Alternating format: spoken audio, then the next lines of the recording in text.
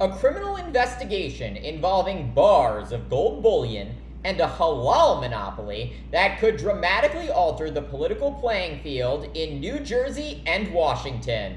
All that and more now on Graf's Grievances.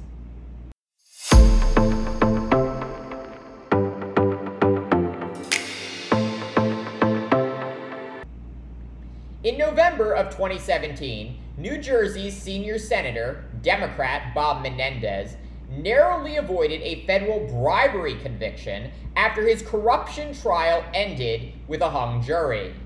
Menendez was charged with trading political favors in exchange for more than $600,000 in campaign contributions, a luxurious hotel suite in Paris, and free rides on a private jet from a wealthy ophthalmologist. The jurors' inability to reach a verdict emboldening Menendez, who declared after the trial, quote, To those who were digging my political grave so they could jump into my seat, I know who you are, and I won't forget you. And shortly thereafter, Menendez announced his reelection campaign and went on to win a third term in the U.S. Senate, defeating his Republican challenger by almost 12 points. So by early 2019, things were looking pretty good for Senator Menendez. He had not only defeated the biggest challenge to his nearly 50 year political career, but had regained his post of, as chairman of the extremely powerful Senate Foreign Relations Committee. But beneath the surface, more trouble was brewing for one of the highest ranking Hispanic leaders in the nation. In October of 2022, an advisor confirmed that Menendez was facing another federal criminal investigation. Prosecutors and the FBI reportedly probing whether Menendez or his wife received gifts of a luxury car and an apartment in Washington in exchange for political favors. The investigation reportedly centering on the couple's connection to Wael Hana, the owner of a New Jersey based halal meat exporter. In 2020, the startup company became the sole entity authorized to certify that any halal food product imported into Egypt from anywhere in the entire world had been prepared according to Islamic law. Before 2019, four companies in the US were authorized to do such work.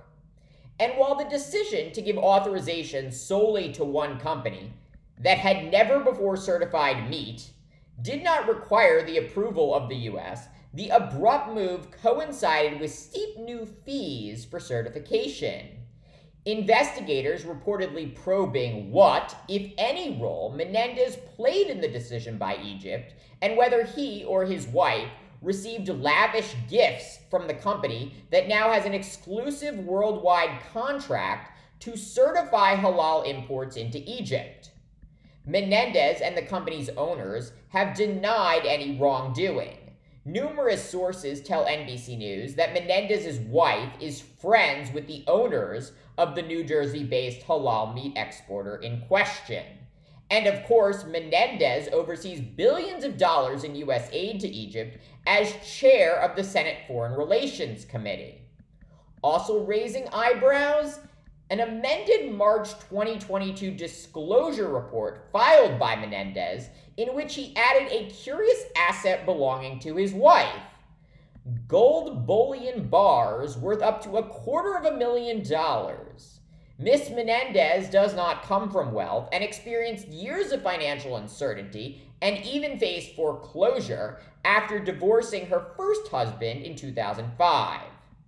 According to the New York Times, since January, the senator's campaign has spent almost $300,000 in connection with the investigation, and last month created a new defense fund to avoid further draining his political accounts. Of course, all of this comes as Menendez faces re election next year. And while it is totally possible that Menendez has done nothing wrong and did not accept gifts or favors in exchange for official acts, this all looks terribly concerning. Remember, it was only six years ago that Menendez's first federal corruption trial ended with a deadlocked jury. And with Republicans continuing to embrace a lawless, twice impeached, twice indicted former president, morality and upholding the rule of law is now more on the ballot than ever before. Democrats need to show in every race that they are the party standing up for strong ethics and integrity. Allowing Senator Menendez to stay on the ballot and continue to run as a Democrat is antithetical to everything the party must and should stand for. Someone in the Democratic Party from the great state of New Jersey needs to have the courage to take him on. Thanks for watching Graf's Grievances. Let me know what you think and please subscribe.